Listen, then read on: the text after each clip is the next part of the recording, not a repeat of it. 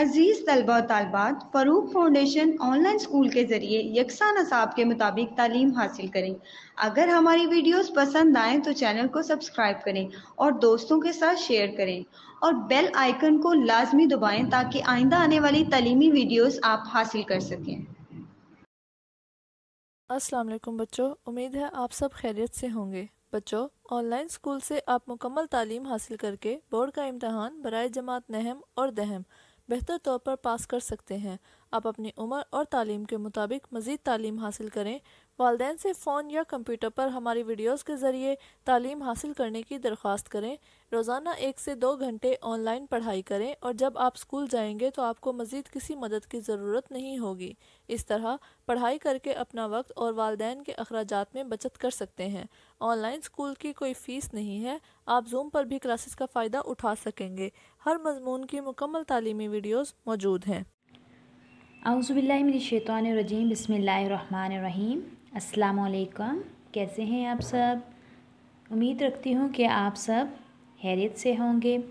बच्चों, आज हम पढ़ने जा रहे हैं क्लास क्लास इस्लामियात, क्लास हफ्तम, और आज का हमारा जो उनवान है, वो है कानून का एहतराम। कानून का एहतराम, हमारा जो आज का उनवान है, बच्चों, हम इससे जान सकेंगे कि हम अपनी रोज़मर्रा ज़िंदगी में कानून को और कानून के असूलों को किस तरह अपना सकते हैं और साथ साथ हम इसको अपनाने की कोशिश भी करेंगे। और कानून के एहतराम क्या है? कानून के असूलों को अपना कर क्या फ़वाद हम हासिल कर सकते हैं?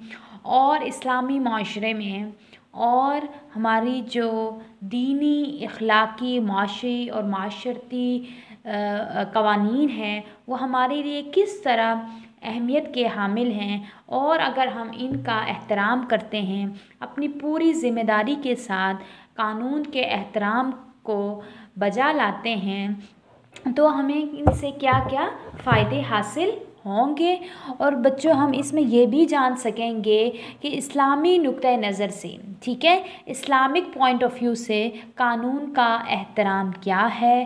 कानून की एहतराम की ज़रूरत क्यों पड़ी?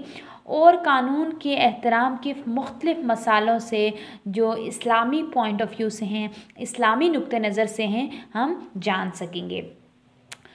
बच्चों, कानून किसी भी माशरे के लिए, किसी भी सोसाइटी के लिए बहुत ज़्यादा अहमियत के हामिल होता है, जिससे हम क्या करते हैं, हम नज़म ज़ब्त के पाबंद होते हैं, हम अच्छा अच्छे और बुरे काम से ख़ुद को रोके रहते हैं, क्योंकि कानून का एहतराम हर शहरी पर फ़र्ज़ है और हर शहरी के लिए ज़रूरी भी है कि वो कानून को जो कानूनी असूल हैं, जो कानूनी तौर तरीके हैं, उनको अपनाए। जिस तरह हम माशरे में कानून लागू करते हैं, हमारे जो सियासतदान हैं, हमारी गवर्नमेंट है, वो इसको इम्प्लीमेंट करती है, वो इसको नाफिज करती है और फिर हम इन कानून को अपने ऊपर लागू करते हैं, यानी उस पर अमल दरामद करते हैं।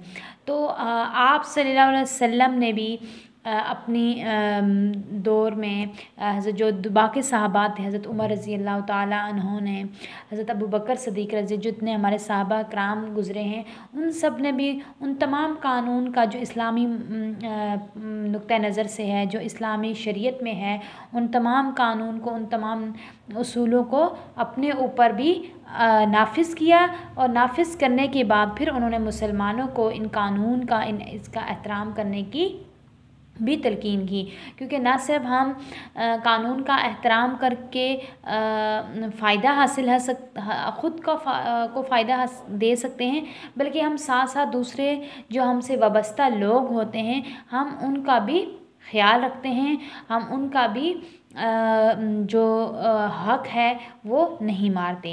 इसी तरह हमारे मुल्क पाकिस्तान है, उसमें जो कानून नाफिज करते हैं, कानून नाफिज करने वाले इदारे मौजूद हैं, जो इन तमाम चीज़ों को देखते हैं और फिर इस पर अमल करने का जो लाए अमल है, वो जारी करते हैं, वो नाफिज करते हैं और हम उन कानून को, हम उन कानून के जो जबते होते हैं, जो उसूल होते हैं, उनको अपनाने की पूरी पूरी कोशिश करते हैं। हम ना सिर्फ़ अपना कर ख़ुद को फ़ायदा पहुँचा सकते हैं बल्कि एक अच्छे शहरी और ज़िम्मेदार शहरी होने का भी सबूत देते हैं। तो बच्चों हमें अपने मुल्क में अपने आ, मुल्क पाकिस्तान में जो कानून हैं जो कानून बनाए जाते हैं हर शहरी के लिए कुछ ना कुछ कानून नाफिज होता है, कुछ ना कुछ कानून बना होता है, उसको अमल करना चाहिए। ना सिर्फ़ हमें मुल्की सतह पर कानून को लागू करना चाहिए, बल्कि इस्लामी नुक़ नज़र से जो कानून बताए गए हैं, हमारे इस्लामिक पॉइंट ऑफ़ व्यू से हमारे माशरे में लागू होते हैं, हमें उन कानून उस कानून को भी अपने माशरे में, अपने मुल्क में, अपने घरों में भी लागू करना चाहिए। तब एक बेहतर शहरी और ज़िम्मेदार शहरी होकर अपनी ज़िम्मेदारियों को अदा करें। सो so, स्टूडेंट सबसे पहले हम इस सबक की रीडिंग शुरू करते हैं और रीडिंग के साथ साथ मैं आपको इसका कानून का एहतराम के बारे में मज़ीद आगाह करूँगी। इस सबक के अख्ताम पर हम जान सकेंगे, अपनी रोज़मर्रा ज़िंदगी में कानून के असूलों को अपनाने की कोशिश कर सकेंगे। हम जान सकेंगे हमारी रोज़मर्रा ज़िंदगी में कानून क्या है और उन कानून के असूल क्या हैं और इसको अपना कर हम किस तरह से फ़ायदा हासिल कर सकते हैं। फिर है, कानून के एहतराम के फ़ायदे जान सकेंगे, इसके क्या क्या फ़ायदे हैं हमारी रोज़मर्रा ज़िंदगी में और वैसे भी इसके क्या फ़ायदे हैं। इस्लामी नुक़ नज़र से कानून के एहतराम की ज़रूरत और अहमियत क्यों पेश आई और फिर इनको मुख्तलिफ़ मसालों से भी वाजिया करेंगे। हम रीडिंग कर लेते हैं। सबसे पहले इसका मफहम क्या है? इंसानों को ज़िंदगी गुजारने के लिए जो अहकाम या असूल और जबते दिए जाते हैं, इन्हें कानून कहा जाता है। ये अमूमन हुक्मरान या अला इंतज़ामिया की तरफ़ से माशरे में अमन सुकून के लिए बनाए जाते हैं। जिनका एहतराम करना और उनको मानना हर शहरी के लिए ज़रूरी होता है। इस्लामिक कानून को शरीयत कहा जाता है। शरीयत के बुनियादी माखज़ कुरान और सुन्नत में हैं और तमाम इस्लामी कवानीन इन्हीं की रोशनी में बनाए जाते हैं। अब बच्चों, इसके मफहूम में क्या बताया गया है कि इंसान को, इंसानों को ज़िंदगी गुजारने के लिए कोई ना कोई अहकाम असूल और जबते दिए जाते हैं कि वो उन असूलों को, उन जबतों को, उन अहकाम को अमल में लाएँ और इसी चीज़ को कानून कहा जाता है। और अमूमन ये कानून कौन बनाता है? आला हुक्मरान बनाते हैं, आला इंतज़ामिया बनाती है, जो माशरे में अमन सुकून, भाईचारा, नज़म ज़ब्त पैदा करने के लिए बनाए जाते हैं। और इनका एहतराम करना हर और मानना हर शहरी के लिए ज़रूरी होता है और हर शहरी पे फ़र्ज़ है कि वो इस कानून को, का एहतराम करे और इस कानून को एक्सेप्ट करे और इसको अपनी ज़िंदगियों में लागू करे। और बच्चों, जो इस्लामी कानून को कहा जाता है, शरीयत में कहा जाता है, शरीयत की बुनियादी माखज़, कुरान और सुन्नत हैं, तमाम इस्लामी कवानी, इन्हीं की रोशनी में बनाए जाते हैं। अब हम पढ़ेंगे कि कानून की एहतराम की अहमियत क्या है। जिस तरह कुदरत का निज़ाम फितरी कवानीन और नज़म ज़ब्त के चल, तहत चल रहा है, इसी तरह माशरे में भी दीनी अखलाकी माशरती और माशी कवानीन पर अमल करना नहायत अहम है।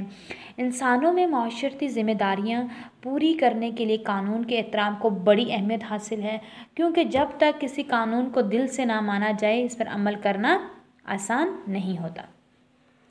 अब बच्चों, इसमें कहा गया है कि जिस तरह कुदरत का निज़ाम है, अल्लाह ताला का निज़ाम है, जो फितरी कवानीन है, कि किस तरह ये दुनिया चल रही है। सुबह के बाद शाम ने आना है, शाम के बाद दोबारा सुबह ने आना है। सूरज किस तरह गरूब होता है और आफ्ताब होता है, और किस तरह हमारे मौसम आते हैं, गर्मी, सर्दी, बहार, ख़ज़ां, और किस तरह हर निज़ाम एक नज़म ज़ब्त के तहत चल रहा है। ये क्या है? कुदरत का एक कानून है। अल्लाह ताला का एक कानून है, जिसके तहत जिसके तहत ये मुल्क चल रहा है। इसी तरह जब हम इसको, एक छोटे लेवल पे हम मिसाल लेते हैं तो हमारे माशरे का कानून है। इसमें क्या है? दीनी, इखलाकी, माशरती और माशरती कवानीन बनाए जाते हैं और वो बहुत अहमियत के हामिल होते हैं और इनको अमल करके ही हम नज़म ज़ब्त के तहत आगे कामयाब हो सकते हैं, आगे चल सकते हैं। और इंसानों में माशरती ज़िम्मेदारियाँ पूरी पूरी करने के लिए भी कानून का बड़ा अहम रोल है। क्योंकि जब तक हम किसी कानून को दिल से नहीं मानते, दिल से एक्सेप्ट नहीं करते, दिल से कबूल नहीं करते तो उस पर हम लोग आसानी से, हम उस पर आसानी से अमल भी नहीं कर सकते। इसी तरह इस्लामी माशरे में कानून कानून इलाही को सबसे ज़्यादा जो है फोकियत हासिल है, अहमियत हासिल है। तमाम कवानीन ऐसे बनाए जाते हैं जो इस्लामी शरीयत के मुताबिक हों।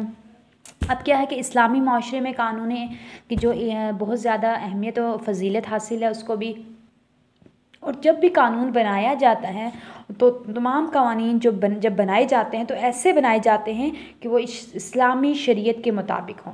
ठीक ठीक है बच्चों? कि इस्लामी शरीयत के मुताबिक हों।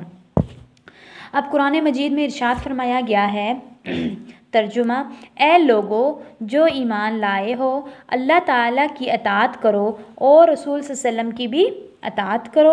और उन लोगों की जो तुम में से साहिब अमर हों, और फिर अगर तुम्हारे दरमियान किसी मामले में नज़ा यानी पैदा हो जाए तो अल्लाह ताला और इसके रसूल सल्लल्लाहु अलैहि वसल्लम की तरफ़ फेर दो।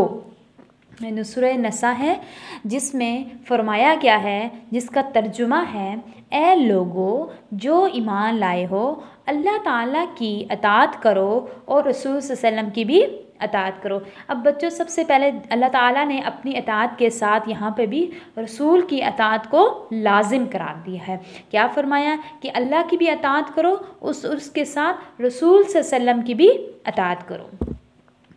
और उन लोगों की जो तुमसे साहिब अमर हों, फिर अगर तुम्हारे दरमियान किसी तरह का भी मामला पैदा हो जाता है तो इसे अल्लाह और इसके रसूल की तरफ़ फेर दो, मोड़ दो। ठीक है? ये तर्जुमा है सुर निसा का।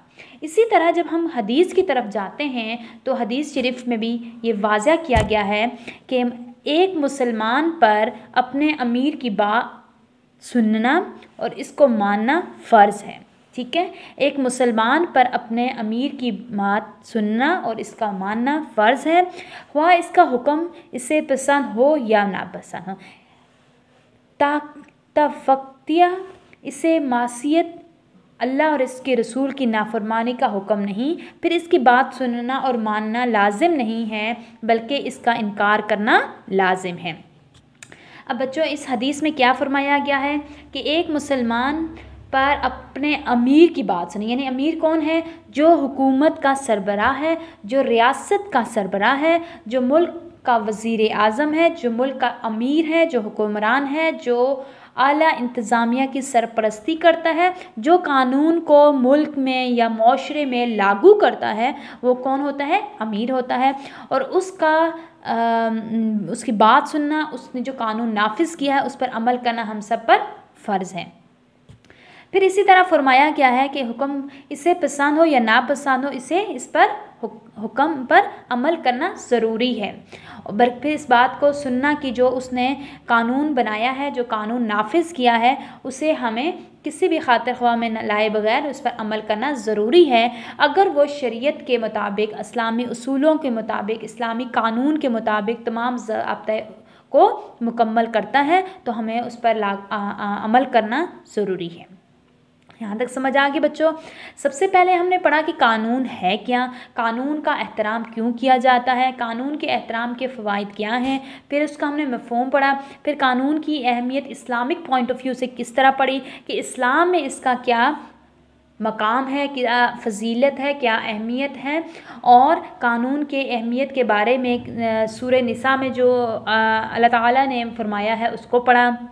फिर साथ साथ जो हदीस मुबारक में है उसको पढ़ा कि क्या अगर कोई आपके मुल्क आपकी रियासत आपके आ, आ, मुल्क की सरबराही करने वाला हुकूमत करने वाला अगर आप पर कोई इस्लामिक तौर तरीक़ों के मुताबिक इस्लामी कवानीन की पाबंदी करते हुए कोई कानून बनाता है तो उस कानून को नाफज करता है तो हर शहरी हर मुसलमान हर फ़र्द को चाहिए कि उसकी पाबंदी करे और उसको अपने ऊपर लागू करें, यानी उस पर अमल करें। ठीक है? ये हमने पढ़ा है हदीस के पॉइंट ऑफ़ व्यू से।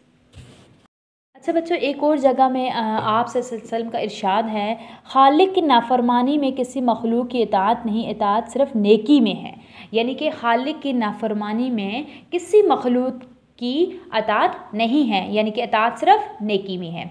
अब बयान करदा आयत और हदीस से साबित होता है किसी भी रियासत का हर वो कानून जो अल्लाह और उसके रसूल की अतात और शरीयत के दायरे में बनाया जाता है, वो वाजिबुल अतात है। जैसे आपको सबसे पहले बताया था कि कानून जब बनाया जाता है तो अगर वो इस्लामिक शरीयत और इस्लामी शरिया और इस्लामी कानून, इस्लामी असूलों इस्लामी जवाब और अल्लाह ताला और इसके रसूल की अतात के दायरे में रख के बनाया जाए तो उस पर अतात करना हम पर फ़र्ज़ है। जब हज़रत मोहम्मद हिजरत करके मदीना मनवरा तशरीफ़ ले गए और पहली इस्लामी रियासत की बुनियाद रखी तो इसके लिए कुछ कवानीन भी बनाए गए। महाजरीन और अनसार ने इस्लामी कवानीन की मुकम्मल पाबंदी की, जिससे रियासत में बाहमी अखवत के जज्बात परवान चढ़े। आप वसल्लम ने न सिर्फ़ साहबा कराम रज़ी अल्लाह को कवानीन पर अमल करने की तलकिन की, बल्कि ख़ुद भी इन पर अमल करके दिखाया। आप की ज़िंदगी हमारे लिए बेहतरीन नमूना है। आप ने जहाँ माशी, माशरती, दीनी, तमाम तर मामला में हमारे लिए बेहतरीन मिसालें कायम की हैं, वहीं पर कानून के एहतराम और अमल पर भी बहुत से वाक़ात मौजूद हैं। सबसे वाज़ मिसाल बनु मखजूम के कबीले की एक औरत की चोरी वाला वाक़ है। पहले हम इसको डिस्कस कर लेते हैं, क्या है?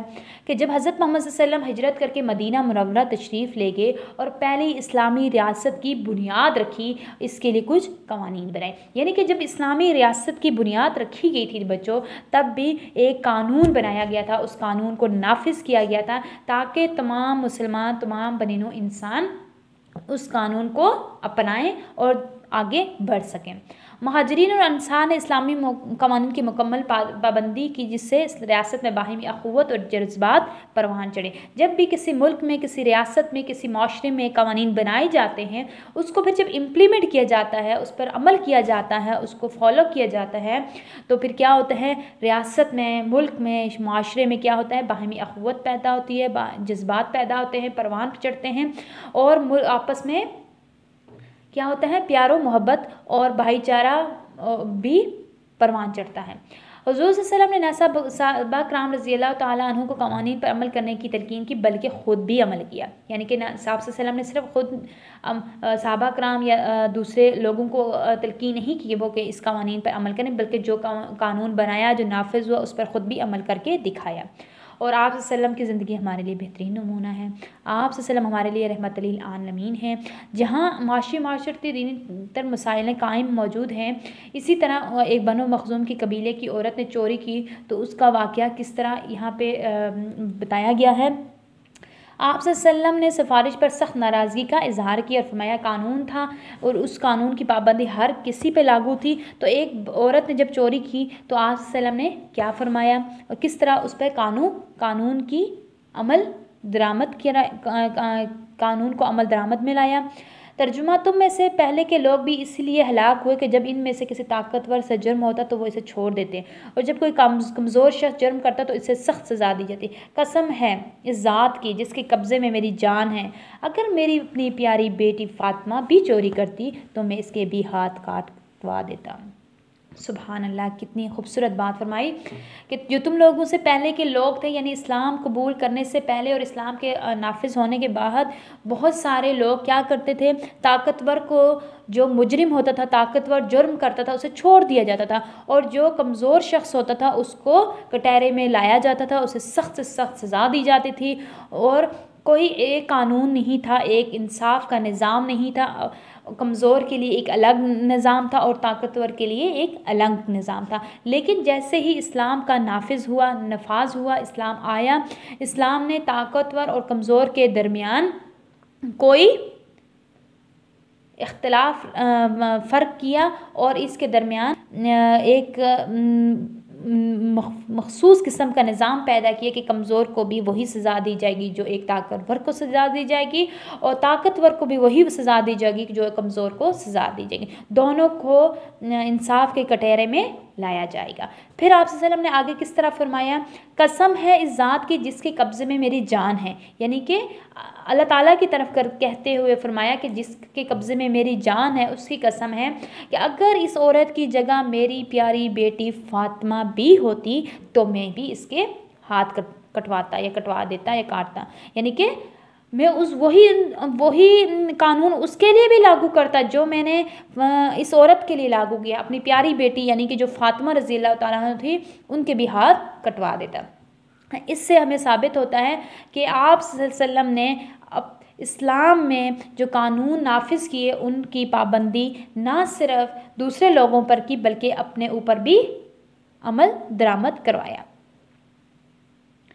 इस्लामी तारीख का यानी जो कानून अमीर के लिए है, वही गरीब के लिए है, जो गरीब के लिए है, वही अमीर के लिए है, वही ताकतवर के लिए है, वही कमज़ोर के लिए है। कानून की नज़र में, कानून की सतह पर सब मुसलमान या सब जो मुजरिम हैं, वो बराबर होते हैं। उनको सख्त सख्त सज़ा देनी चाहिए, चाहे वो गरीब हो, चाहे वो अमीर हो, ताकि वो दोबारा इस कानून की खिलाफ वर्जी ना कर सके। इस्लामी तारीख का एक और मशहूर वाक़ यह है कि एक मरतबा हज़रत अली रज़ी अल्लाह तु की जरदा गम हो गई और एक यहूदी से मिली। आप खलीफा वक्त थे तो ख़ुद ही हुक्म देकर ज़रा वापस ले सकते थे, मगर कानून के मुताबिक मामला काजी की अदालत में ले गए। गवाह गवाह तलब करने पर हज़रत अली ने अपने बेटे हज़रत इमाम हसन अब को अपने ग़ुलाम को गवाही देने के लिए पेश किया। काजी ने कराबतदारी की वजह से इन दोनों की गवाही कबूल करने से इनकार कर दिया। तो आज वसलम ने बुलाता ने बुला तामल अपने दावे से दस्तारी इख्तियार कर लिया और फैसला यहूदी के हक़ में हो गया। इस कानून के एहतराम की मिसाल ने यहूदी के दिल में इतना असर किया कि वह मुसलमान हो गया। सुबहान यानी कि एक जो यहूदी से आप सल्लम जो एक मशहूर वाक़ है कि एक मरतबा एक हज़रत अली रज़ी अल्लाह ज़्यादा एक गुम हो गई और यहूदी इनको मिली और उस वक़्त के जो आप रज़ी अल्लाह ताला उस वक़्त के खलीफा वक्त थे और मगर कानून के मुताबिक उन्होंने वो कोई भी उस वो ख़ुद उस कानून पर अमल नहीं किया बल्कि उन्होंने काजी के आगे अदालत में वो कानून पेश किया कि जो कानून है उस पर काजी जो अमल दरामद करेगा उसके बाद जो नतीजा निकलेगा वो मुझे कबूल होगा। इस तरह जब फैसला यहूदी के हक़ में आया तो उस कानून के एहतराम में क्या हुआ कि उस यहूदी ने और इस्ला, हर इस्लामी रियासत का एक फ़र्ज़ है कि वो कानून लोगों में कानून के एहतराम का जज्बा पैदा करे। इस अमर के लिए ज़रूरी है कि हुक्मरान तब का भी कानून की पासदारी करे और अपने असर रसूख को कानून की इज़्ज़त से बचने का ज़रिया ना बनाए। इसी तरह दीगर, अगर दीगर लोग किसी भी कानून की शक्नी के मरतकब हों तो इन्हें सज़ा दी जाए ताकि कानून के खौफ के पेश नज़र वो कोई भी जुर्म ना कर सके। अब बच्चों, इसमें क्या बताया गया कि हर इस्लामी रियासत को पर फ़र्ज़ है कि वो कानून की एहतराम करे और ना सिर्फ़ जो है कि लोगों में जो आवाम है, उस पर ये कानून नाफिज करने के तमाम असूल लागू किए जाएँ, बल्कि जो हुक्मरान है, उस हुक्मरान तबका है, उस पर भी लाजिम है कि वो कानून की पासदारी करे और कानून को लागू करे अपने ऊपर भी और ख़ुद ताकतवर होने के वजह से किसी भी जो है असर रसूख को इस्तेमाल करें, ख़ुद को ना बचाएँ। अगर कोई उस पर भी कानून शिकनी का मरतब है तो उसको भी सज़ा दी जाए और किसी भी कानून, किसी को भी कानून के शिकंजे से बाहर नहीं निकालना चाहिए। अगर वो जुर्मदार है तो उसको जुर्म की सज़ा मिलनी चाहिए, ठीक है? तभी हम कानून को नाफिज कर सकते हैं कि जब कानून सब के लिए बराबर होगा। फिर है बच्चों, किसी भी कानून पर अमल सिर्फ़ दो बातों की वजह से मुमकिन होता है। एक, जब कोई कानून का एहतराम व इज़्ज़त करे। दूसरा ही कि जब कानून की खिलाफ वर्जी पर सज़ा का खौफ हो। ये दो ऐसी चीज़ें हैं जिस पर हम कानून का एहतराम कर सकते हैं, उसको इज़्ज़त व एहतराम दे सकते हैं। और दूसरा क्या है कि जब हम कानून की खिलाफ वर्जी की सज़ा का हमें खौफ होगा कि हमने कोई गलत काम किया तो हमें उसका सज़ा मिल